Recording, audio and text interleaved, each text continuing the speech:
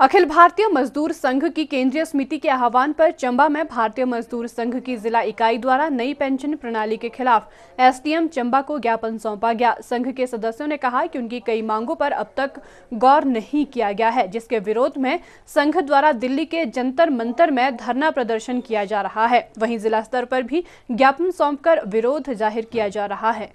शुक्रवार को चंबा में अखिल भारतीय मजदूर संघ की जिला इकाई ने पुरानी पेंशन को शुरू करने, अनुबंध और निश्चित अवधि रोज़गार योजना को निरस्त करने, आयकर की सीमा पाँच लाख को बढ़ाकर आठ लाख करने और ईपीएस पेंशन सभी के लिए बढ़ाकर पाँच हज़ार रुपये करने जैसी मांगों को लेकर एक ज्ञापन पत्र एसडीएम चंबा को सौंपा।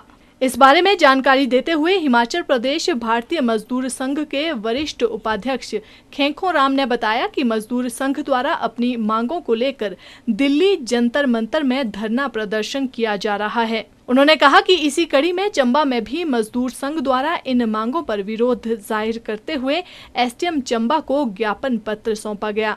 आज हम अखिल भारतीय भारतीय मजदूर संघ की केंद्रीय कार्य समिति ने जो निर्णय लिया था कि तीन जनवरी 2020 को जिला सभी दे, पूरे देश में जिला मुख्यालयों में धरना प्रदर्शन किए जाएँगे और आज के दिन ही दिल्ली में जंतर मंत्र पर विशाल धरना होगा। तो इसी उपलक्ष्य में भारतीय मजदूर संघ जिला चंबा की ओर से हमने एस टी महोदय के माध्यम से माननीय प्रधानमंत्री, भारत सरकार नई दिल्ली को ज्ञापन दिया है। इसमें हमारी मुख्य मांगे हैं, सबसे पहली मांग है कि जो पेंशन 2003 से जो पुरानी पेंशन थी, वो बंद कर दी गई।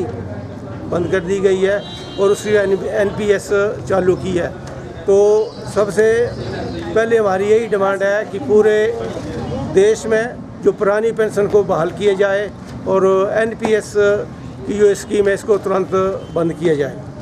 तो इसके साथ ही हमारे जो आंगनबाड़ी आशा कार्यकर्ता, मिड डे मील के जो कार्यकर्ता हैं, इनके जो मानदेय है, वो बहुत कम है।